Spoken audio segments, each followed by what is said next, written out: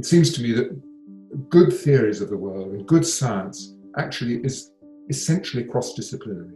And the essence of this book is a kind of cross disciplinary attempt to bring together psychoanalysis, attachment theory, and neuroscience.